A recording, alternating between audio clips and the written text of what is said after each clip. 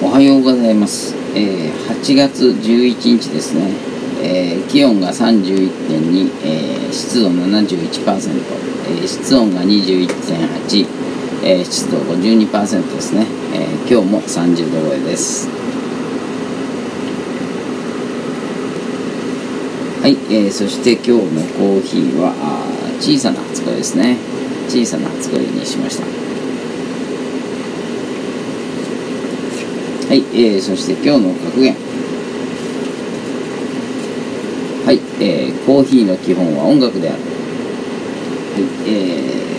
ー、大して意味はないです。あただ単にコーヒーの基本はという言葉からあなんかあ、えー当てはめただけっちゃだけなんですけどね。ただ音楽例えばあのーバッハの田口さんはあのー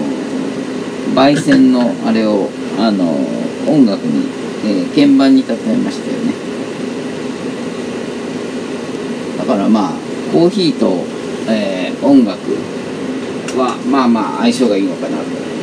という気はします。例えばお湯の、えー、差し方でも、えー例えば強くだとかあ柔らかくだとか全部音楽用語がそのままあ通用するかなというふうに思うので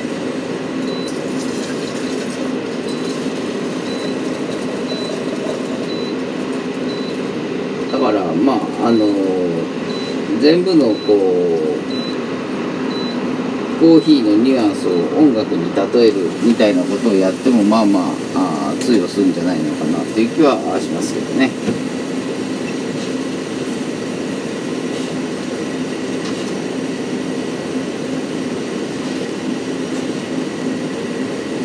はい、じゃあ、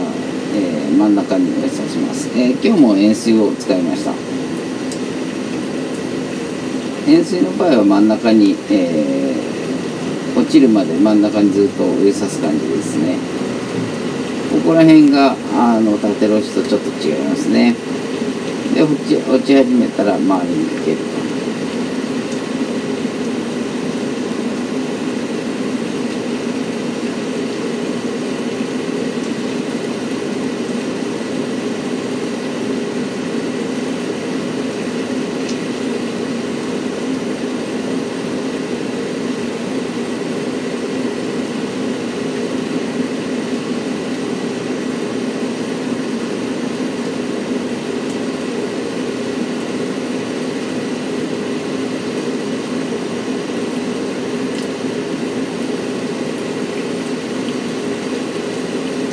まあ塩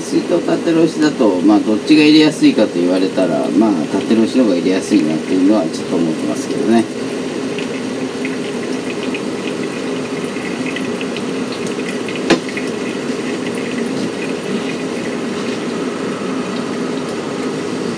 はい、えー、今日は324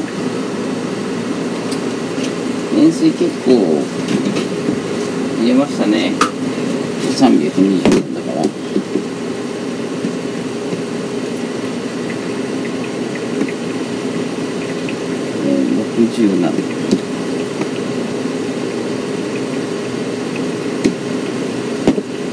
えー、っとお湯の太さが 4.8g ですからまあまあいつもよりちょっと多めのお湯なんだなというのはあちょっと思いましたね。あの塩水の時と、えー、縦ろしの時とお湯の、えー、刺し方が少し変わるかもしれないなというのはちょっと今お湯を刺してて思いました。で実際に、えー、まあこうコーヒーっていうのはもう新鮮で粉が膨らむタイプの場合のがまあ大体太いお湯は刺さないんですよねそれで、えーちょっと、えー粉が落ち着いてる方が太いお湯を刺すことが多いんですけどそれは、えー膨らんでくるか来ないかの、まあ、差なんですけど膨らみが強いかどうかで、えお湯の刺し方が少し変わる感じはあやってて思いましたね。でまあ昨日あのちょうど、えークリームダウンのことをちょっといろいろあだこだちょっと考えてて。であの実際にこの氷が溶けてあの熱を奪うっていうのをいろいろと、まあ、計算あだこがやってて、まあ、だんだん分かってきたのはあの急冷することに、えー、気をつけてあの急冷しすぎるのの危険性っていうのを、えー、ちょっと思いましたね。あの二度えー、あ二度押しついったっけな何だったかなあの最初に1回こう急冷するんですけどその急冷が、えー、温度が下がりすぎるのは危険なんですよというのは何かっていうと1回目の急冷でクリームダウンを起こす可能性があるので、えー、まず1回目の急冷は安全なとこで、えー、止めないといけない。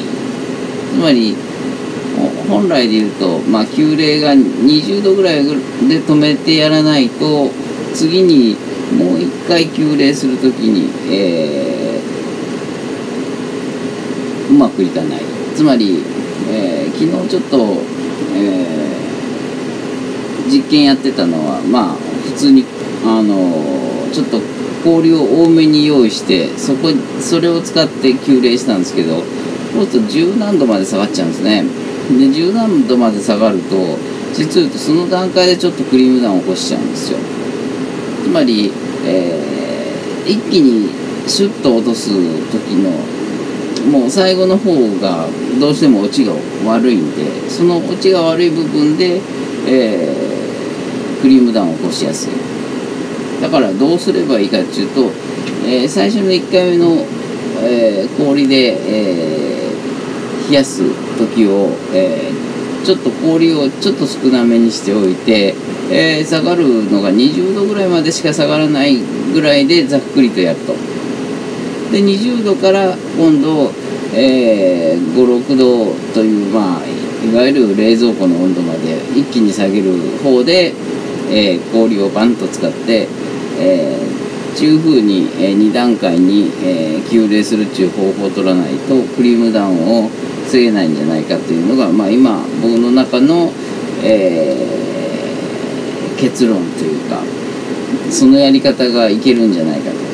からそこら辺をもうちょっと、えー、氷の量も今まで氷の量っていうのは、まあ、あんまり考えなかったんですけどそれを、えー、今度は氷の量をきっちりと、えー、考えてつまり1回目の場合はあ何グラムの氷を使い、えー、2回目は基本大量の氷を使えばいいと思うんですけど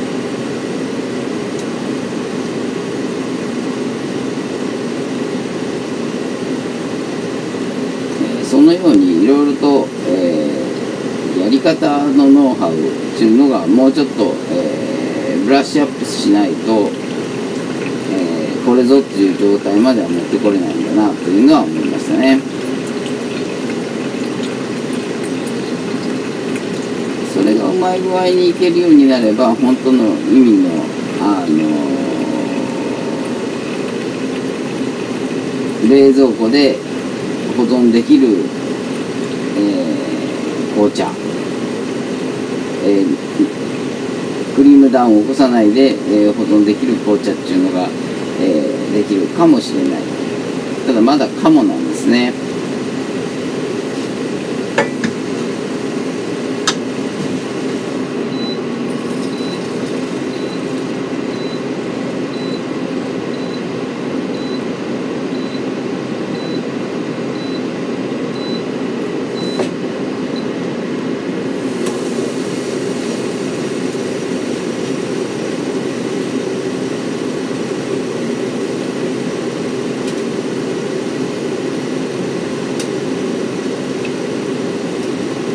取り組むと何がいいかというとやっぱり発見が多いですよね。だからまあ紅茶をちょっと今あのじっくりと、えー、ただ単にクリームダウンに特化して、えー、実験やってますけどあのー、結構今まではあのざっくりと氷みたいな感じで思ってたけど製氷機の氷の凄さ素晴らしさっていうのはやっぱ今は感じてますね。あの冷蔵庫の氷と製氷機の氷は、まあ、基本的にま違うんですけど0度の氷は何がありがたいかっていうと、えー、計算式が1個減るというのがありがたいんですね。つまりマイナス20度の氷がもし存在しててまあ大体冷蔵庫で、えー、家庭用の冷蔵庫なんかマイナス10何度まで下がってるんで、えー、氷が氷を用意すると大体マイナス、えー、20度近くはあると思うんですけどマイナス20度の氷っていうのは、えー、紅茶で紅茶を冷やそうという時に使うと、えー、1回目の段階でマイナス20度の氷の中に、えー、熱い、紅茶を入れると何が起きるかっていうとまず氷があ0度まで戻る必要があるんですね。で0度まで戻るっていうことはこれはまあ単純なあの比熱なんで、えー、まあ水だと大体、えー、温度が1度上がるのにあの1カロリー、えー、必要であるというのはまあ大体これはまあよく知られてることなんですけど氷もやっぱり、えー、1度上がるのに、えー、1g の氷が1度上がるのに、えー、決まった熱が必要なんですね。その熱っていうのが、えー、調べてみると大体0.5ぐらいなんですよ。だから0.5ぐらいだから最初に氷の、えー、グラム数に対して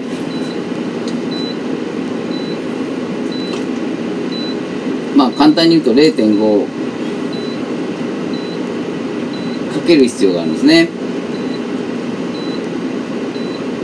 つまり、えー、マイナス例えば20度なら20度と、えー、0.5かけてでグラム数ですよね。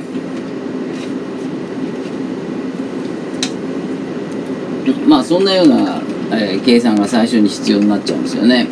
その後、えー、今度は、えー、氷が溶ける時に、ねえー、熱を奪うっていうそっちの方の、えー、ものが必要になってくると。つまり、えーと、2段階に、えー、考えなきゃいかんのが、えー、0度の氷はそれが必要ないんですね。最初から0度なんであのそこの部分があの氷は残念ながらあの0度でしか存在できないんで0度以上に上がれば全部溶けてっちゃうんでだからそこら辺で言うとあの、製氷機のように0度の氷っていうのはあ実験には使いやすい。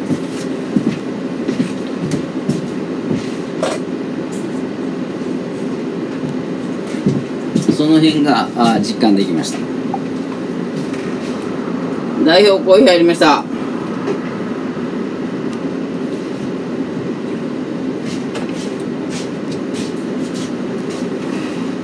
はいコーヒーです。はい小さな初恋です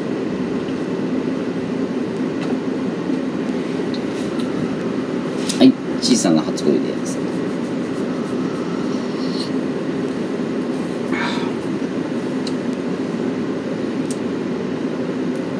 そういや今日の格言は、えー、基本はコーヒーの基本は音楽であるって最初ちょこちょこっと喋っただけであとあれでしたね。ほとんど紅茶の話でしたけど。まあしょうがないですね。あ代表なんか言うことありますか？いやそっち先にやってくれはい。はい、えー、ミラクルオークション、えー、今あ出てるのがアイスティーを作ろうセットとえー、松屋式寝る、えー、ドリップスタンドですね。はいこの2つが今オークション出てます。はい。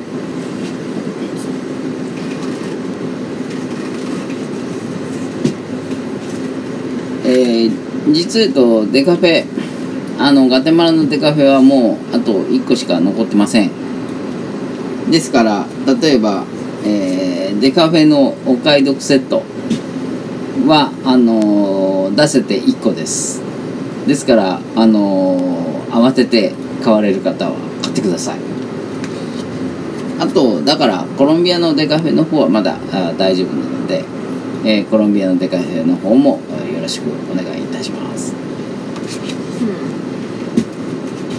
うん。はい。デカフェも、えー、と新しいのをやろうとは思ってるんですけど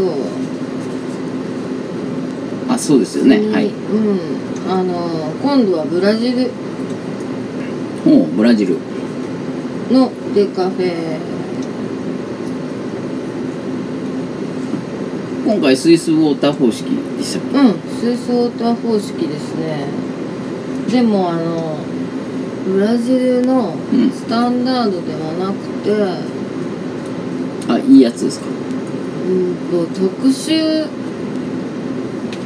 生成されたもののデカフェなんかせデカフェしてから特殊生成してるのかちょっとその後確認さまだ確認してないんですけどうん。のデカフェ？あとそのまあえー、カフェ抜いてない方ーうん。もじゃあ比較できるってことですか？ないんですけど同じところの同じような生成をしたもの、ブラジルですね。ブラジルのデカフェ。あ今回は嫌気性なのかな？うん。まあそういう系ですよ。ちょっとインフューズドっぽい感じ。まあ大体発酵は嫌気性が多いですよね。うん。好気性にすると簡単に言うと 無敗に引くんで多分元気性だと思うんですけど、はい元気性まあそっち系の、うん。えー生成の特殊生成の、えーブラジルのデカフェも出てきます今はい。後はい。はいそんな感じです。はい今日はここまでにします